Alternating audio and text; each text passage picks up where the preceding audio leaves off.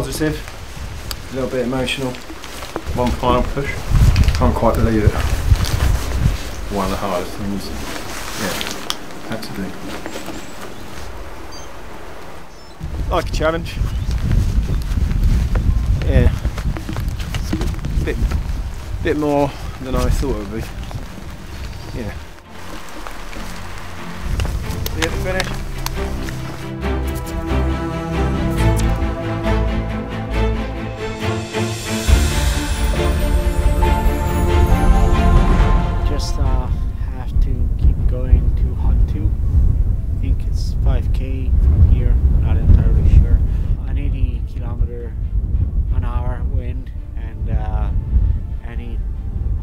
Constant rain, I'd say, yeah, they're challenging enough in their own way. I would have preferred the snow, but what can you do? Keeping warm. No problems. Hut one, here we come. all good, moving strong on the final stretch. So um, I think everyone's mood is picking up a bit. Starting to feel pretty real now. So just push on for the last 20 mile and get it done. We've had a mixture of everything throughout the week, really. Uh, tar, stone to bog, uh, a lot of frozen ground, obviously. Some of the slabs are lethal when they've got ice on them, um, so you've got to be really careful. Still moving. Surprised myself. Going to give it 100%. I overslept. I was meant to have a one hour sleep but ended up having four. So, um, so I feel really good because I've slept more than I have all week today. I don't know, it's going to be a hard day. You know, it's going to rain, it's going to be windy. What else way to be welcome to Scotland? We're hopefully on the home straight. It's a bit gusty. It's a lot warmer. It's great. Unfortunately, Kate Farley this morning had to retire. Um, she fell ill on the trail six miles outside uh, Bellingham. So we send her very best wishes and hopefully a speedy recovery. I'm the sort of individual who enjoys this sort of thing, which may, may sound quite sadistic, but um, I generally do. Um, is my third spine, and I promised myself the last. But we shall see.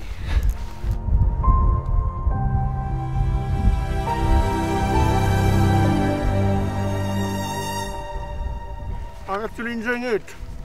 You know, heading towards the finish line. That's the reason why, you know, I'm a little bit happy.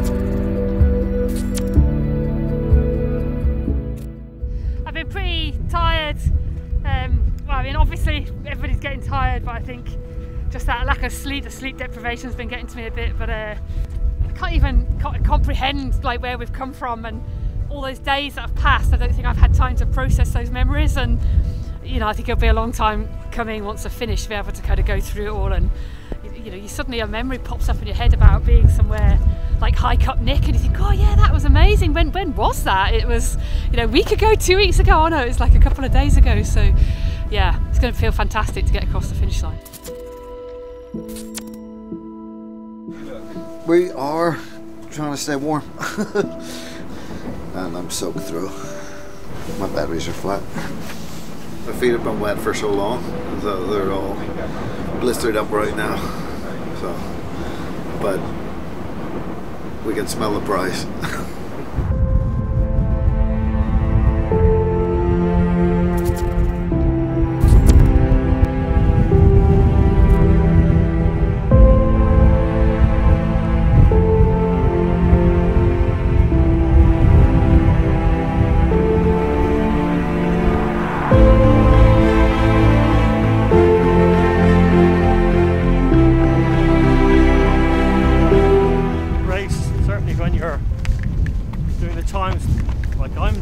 a lot of it's about mental effort. I'm looking forward to putting my feet in a basin of hot water and I'm looking forward to having a pint of Guinness.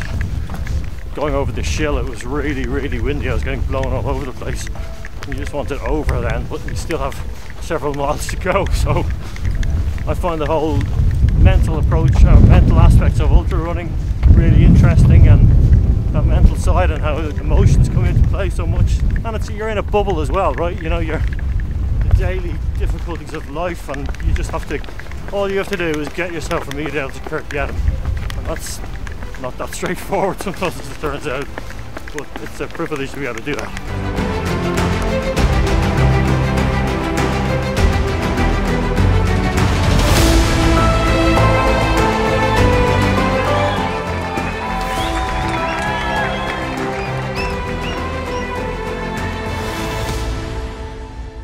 So, this will be the last of our daily update videos and this is my last opportunity to say a massive, massive congratulations to every single person who took part in this race, every person who finished and in particular every person who managed to fight their way onto a podium.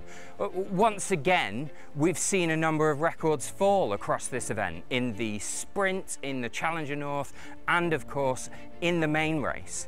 In fact, this will be a little bit of a bittersweet fact for the people who are involved, but more than a dozen runners ran times this time around that would have been course record times had it not been for the runner ahead of them. Now, I've always used this last piece to camera as an opportunity to thank everybody who has contributed to the race. And that is an ever growing list. I don't think Ryan behind the camera there has SD cards big enough. I'm going to start this time around by thanking Jack Scott. I freely admit, and I said this to Jack, that if you'd have asked me before this race started, I'd have said it was not possible to get here in under 75 hours in winter. It simply couldn't be done. I'm thanking Jack for reminding me that that is exactly what we do here. The very first time this race was held, people told Phil and Scott that nobody would finish, that this couldn't possibly be done. And then three people did. And then year on year, more people have. And year on year, that finishing time has got faster and faster and faster. And I should have seen this coming. Bit by bit, year on year, these runners have shown us that whatever preconceptions we might have had about what the limits of these athletes are, are entirely in our heads. And I thank Jack for reminding us that that is exactly what we do here. What we do here is create a space where these runners can come and disprove any doubts that exist in their heads or in the minds of anyone around them about what they are capable of.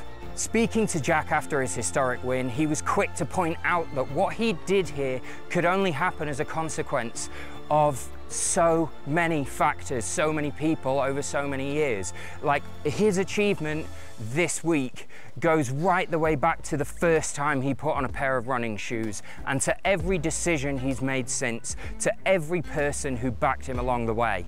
And that's very much the case with this race as a whole. Had Phil and Scott not thought that people could do this, we wouldn't be here. Had each and every one of the volunteers involved in this race not decided to come along and support, had every dot watcher not decided to follow, none of what's happened here could ever have happened.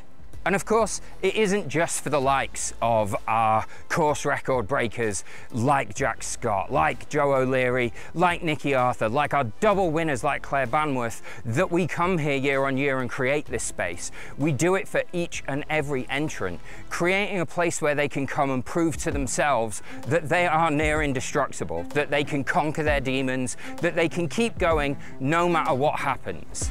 I think it's important to understand that resilience isn't never being weak. Resilience isn't never having negative thoughts or doubts about yourself. Uh, Resilience is the tiny part of you right in the center that keeps shouting at you to move forwards in the middle of that storm of negative thoughts. And we hope that each and every person that touches that wall back there or crosses any of the finish lines behind us goes home realizing that. So thank you once again to each and every volunteer who registered a runner, who served a cup of tea, who comforted somebody in an hour of need, who stood out on a hill in terrible weather to make sure these runners are safe. It absolutely typifies the spine race that up there in one of those refuge huts in the Cheviots for the last few days has been Mark Caldwell, one of the three people to finish the first ever spine race. He's spent the last few days up there helping others do what he did. We are grateful to each and every one of you. And I'm going to add an extra thank you here to all of the mountain rescue teams up and down the Pennine Way, in fact, all over the UK. For those who don't know, these volunteers rely absolutely on donations from members of the public to keep doing what they're doing. And without them, we couldn't keep our spine race going. Without them, all of us with a love of being in wild places couldn't do what we do. So please, Google your local mountain rescue team and see how you can support them. If you've followed us this far, if you've been following those dots and following the updates, please stick with us. We still have athletes up on the hill and the wind is howling, the rain is pouring, and it is still freezing cold. We're gonna be here till the last one crosses the line, and we hope you'll be following them right up until they touch that wall as well. And of course, if you find yourself tomorrow missing having those dots to watch, missing having these updates to read, don't worry. It's not gonna be too long before we're back. We'll see you again in June for the Montane Summer Spine Races 2024.